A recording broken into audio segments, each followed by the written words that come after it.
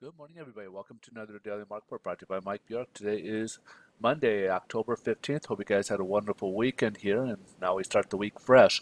Uh, we do got a few ec economic um, items here on the calendar here, so we'll start off with, pardon me there, uh, we'll start with the retail sales for the month of September. So in August, we had a 0.1% increase. Uh, forecast was actually much higher, probably, I think it was right around half. Uh, at least those were the whisper numbers. Uh, but came in at 0.1%, so a little disappointing there. Uh, we may have had some factors, you know, from the hurricanes and everything. Uh, now, when you take out big items like uh, autos, and this includes gas and a few other items here, uh, this kind of gives us our control group. And in August, it went up 0.3%, uh, and in September, it actually fell backwards at 0.1%.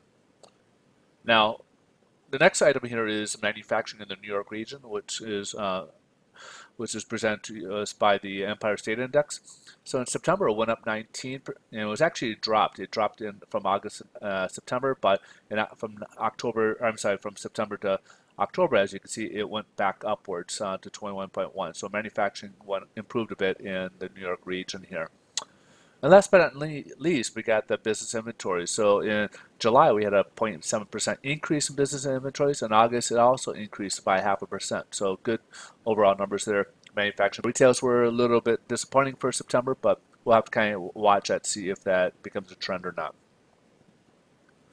Headline news so far, stock market is down, but as I did this, but it's been kind of going back and forth a little bit. Where we're seeing um, kind of going tip it's dipping its toes in negative and uh, positive territory. So it's kind of going back and forth a little bit here.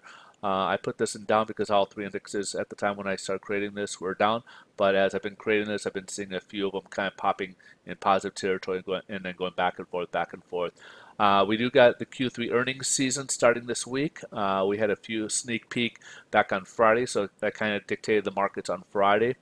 Uh, we got geopolitical news also. We have the Saudi Arabia uh, situation where they're being accused of uh, basically murdering a um, journalist, and uh, President Trump has put out a uh, stern warning. If this is found to be true, uh, there will be uh, pretty harsh penalties for Saudi Arabia. So. of course, the first um, reaction is to possible tariffs or um, sanctions on their oil, which could obviously give a big boost to the oil prices as well. So that could um, that could be a factor as well. Let's jump ahead here to see how this is affecting the bond market. Sorry about that. Uh, bond market, here we go. So right now, as you can see, we've been going, we're right in the middle here. We got pretty big swings here between, uh, you know, it's about 89 basis points between these two spreads. So we got pretty wide range here where we can fluctuate. So this can be a little dangerous area where we could have nice improvement or we could go uh, pretty big drop here. But right now we're kind of about where we left off on Friday, so there's really no change so far which means uh, there's no change in pricing uh, for interest rates. So interest rates haven't changed from what we saw on Friday. Uh, mortgage or 10-year treasuries uh, are up a little bit from where we left off on Friday. Right now we're hanging about 3.16. Uh, we left, I think it was around 3.13 or 3.14. Uh, but today, so far, we're at about 3.16. So we're in this range here as we got pulled down a little bit closer towards that 25-day moving average, even though I didn't touch it it did uh, pull down a little bit on uh, Thursday. All right, so again, our interest rates are about the same as what we left off on Friday. Not really, didn't see a whole lot of change. Uh, the markets will be kind of dictated where the stock market goes today. So keep an eye on the stock market. If it goes in negative territory, that will help out the bond market.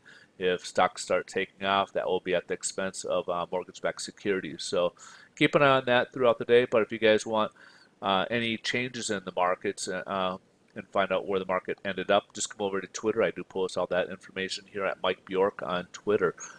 Otherwise, I'll see you guys tomorrow. Thanks so much for watching us. Uh, again, uh, see you guys tomorrow. Bye bye. Have a great day.